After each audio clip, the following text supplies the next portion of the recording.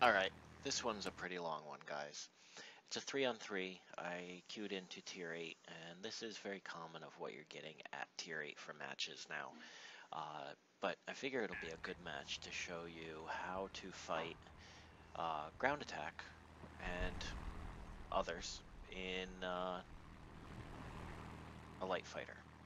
Uh, the La 9 certainly can get up in altitude, but in this instance, two of my enemies are going to be low on the ground so I actually start quite low. Um, I'm happy to find the Hornet as early as I do in the match here, and uh, as you can see, I want to kind of feel him out and see what he's going to be doing.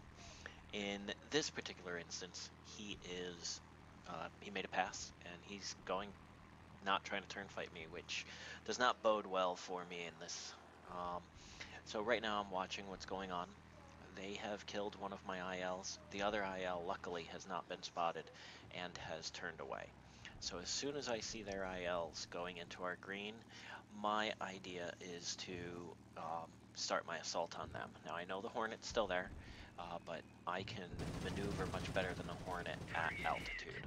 So you'll see here that between the IL-20, the IL-10, and the Hornet, that I do a lot of dodging, a lot of moving around, a lot of angling on what's there to avoid tail guns, and uh, in my opinion, uh, what needs to be done in this instance, uh, which is mainly to avoid the tail guns. You'll see a couple of times I actually choose to be in front of the various planes rather than behind because I can make the pilot miss and the front guns are pretty terrible. Uh, but I cannot make uh, the tail gunner miss. So like right here, I don't even try chasing. I realize he's got his rear to me, which is his best option, so I move.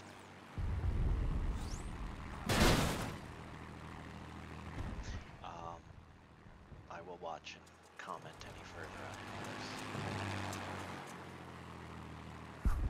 Now again, you can see I'm in the, the front of this one. Watching the Hornet. I'm watching the ILs. I'm trying to stay out of the tail guns. See it come down in a second. Activate boost. Once I get the angle. This I'm watching mainly on the minimap to see what they're doing. And uh, again, Bill 10 firing at me. See the shells going all around. He's probably got his pipper right on me for that, all of that and doing barely any damage of course watching for the Hornet each time that he makes his pass. Another front on attack by the IL.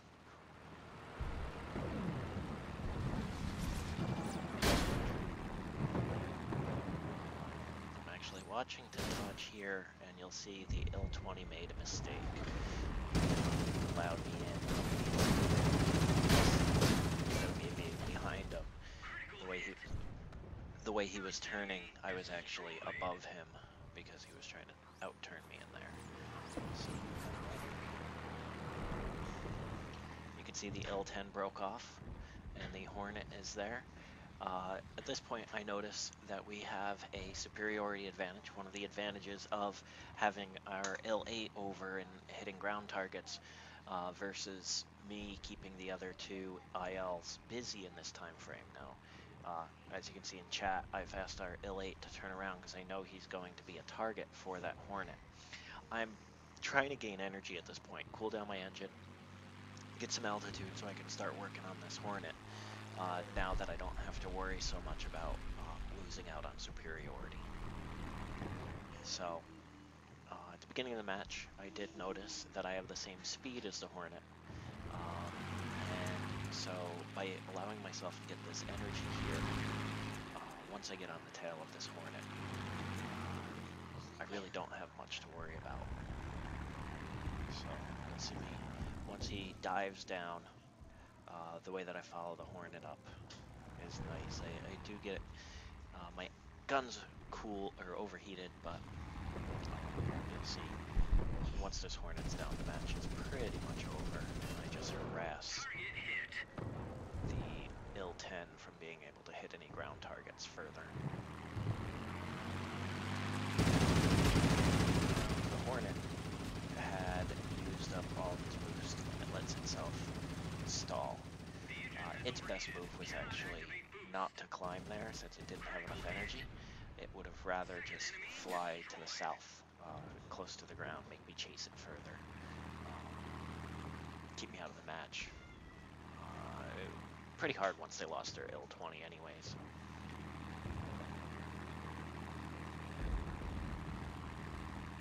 Now this time, uh, my thoughts are, we're winning, so I don't have a huge need to go attack the IL-10, um, but I'm comfortable based on what I saw earlier that I'm going to be able to kill him. So even with my 80 some odd hit points that I have, um, I'll go and, and do the attacks.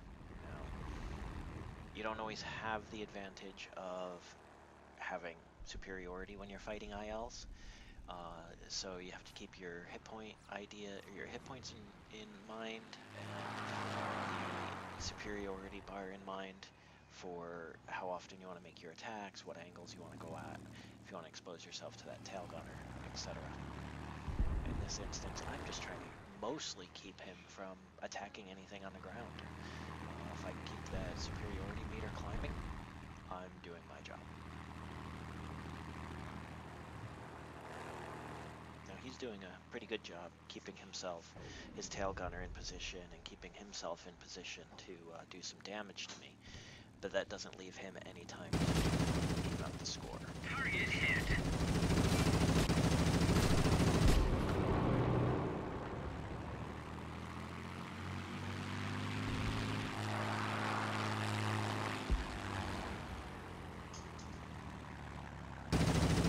these are the angles you want to attack from. And uh, don't let yourself accidentally hit the ground. And uh, keep yourself as much out of the tail gunner's range as possible. If he wants to turn in on you, uh, attack him from above, and it's the above of his plane. So, if he wants to keep his tail to you, get your altitude, and uh, once you get past him, down to the sides.